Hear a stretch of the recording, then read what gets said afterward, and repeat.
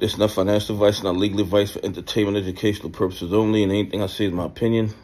Please don't make any financial decision based on anything I say in these videos. That being said, hit the like button, subscribe button, all that YouTube algorithm stuff so you get the videos I put them out. See what I'm thinking, see I'm analyzing that data. But like I tell every day, the data release us is false. I'm going to give us a false narrative to market so we can make bad trading decisions. Listen, I did a, a video on the CAT system this morning, but the kind of responses I'm getting required me to put out another video. Listen, the government is not concerned about our privacy. The bad actors robbing and stealing from retail investors, pension funds, and institutions that follow the law do not care about our privacy.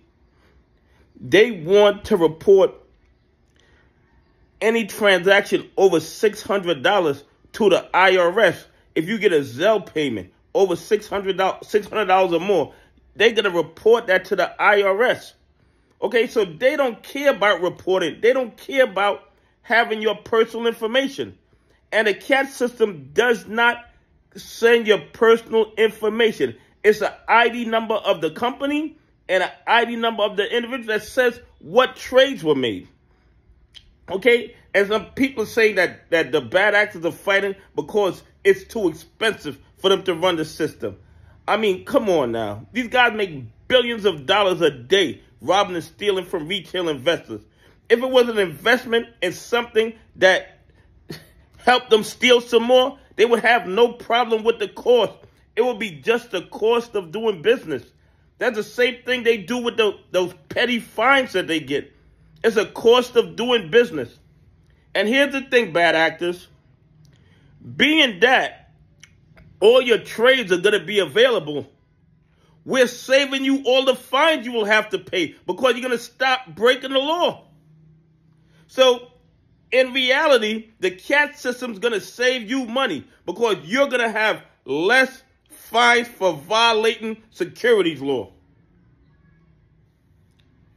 The only people who don't want the CAT system are the criminals. Okay? The only people that don't want the cash system are the criminals are the ones that are robbing and stealing from retail investors, pension funds, and, and institutions that follow the law. Because if you follow the law, if you're doing research, if you're doing correct trades, if you're not marking shorts as long, why would you care if all your trades were made available? You care because you know you don't know how to trade you know the only way you could win is by stealing and robbing and breaking the rules. So you don't want any rules put in place that stops you from stealing, that exposes the fraud and corruption that you engage in every single day.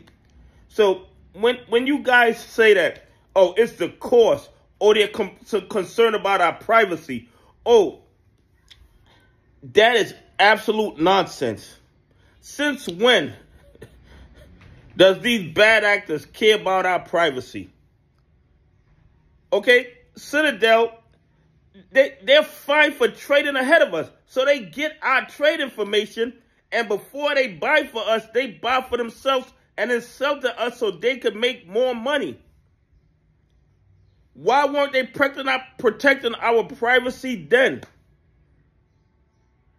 The people who don't want the CAT system do not care about our privacy. The people who don't want the CAT system are not concerned about the cost. They are concerned about being able to continue robbing and stealing from retail investors, pension funds, and institutions that follow the law with no consequences. That is the bottom line.